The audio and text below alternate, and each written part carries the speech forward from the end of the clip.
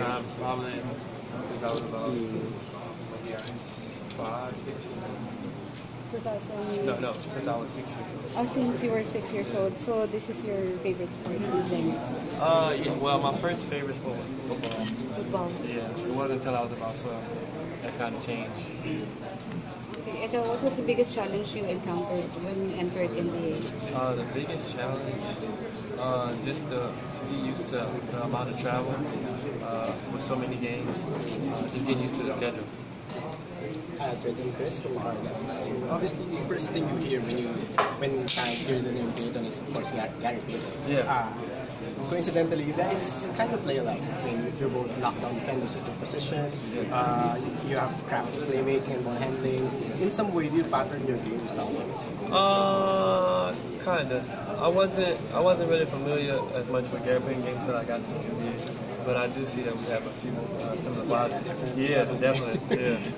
So, uh, is it safe to say that uh, you would want to be like him someday, or Um, mirror his career or something? Maybe maybe mirror his career. I mean, he's somebody that you know respects at the at Hall of Fame. the Hall of Famer at the end of the day. Uh, and he also has a championship ring. So if I'm able to do you know some of those things, I see a pretty successful career. Ah, ah yeah. Oh, Okay, yeah, hello. Good afternoon. Ah, yeah. Ah, you, you look so young, no? How, Yeah. how old are you? Uh, I just turned 23. How do you see yourself five years from now? Uh, hopefully, um, with a championship. Yeah. Um, that's most important for me right now. Right. So who's your uh, inspiration? Who's your idol in in the ring in the field of basketball? Uh, when I was when I was younger, my favorite player was Allen Iverson. Uh, that was somebody I looked up to because he was tough. Uh, somebody that always gave it his all on the court. So that was somebody I wanted to, to kind of be like. Wow. Thank you. Sir, how are you enjoying the Philippines? So far, so good. I got here at 4:30 this morning, so I haven't had much time to, to really get out there. But uh, so far, so good. Uh, another question, sir. Do you see yourself playing for another NBA team in the next few years? No. Uh, hopefully, I hope to be with the with the Magic. Alfred, uh, speaking about Allen Iverson, he sported the cornrows, and and then now you you, you kind of have a unique hairstyle. I watch you play with different hairstyles. Yeah. Can you talk about it? Uh, is, it- is this part of a part of your personality? Um, I mean a little bit.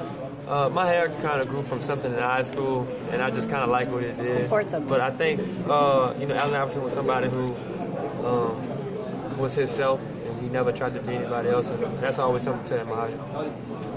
Okay, so Pinoys are curious. Do you have a ritual in the morning or what? Do you put some special cream on it? Or I don't. I don't have any special ritual in the morning. My, my, the only thing I do is, you know, shampoo and condition my hair, make sure I wash it, keep it clean. I'm sorry, man. But that's about it. Right, What advice can you give to the junior NBA participants? uh, you know, work hard. Um, give it all you got.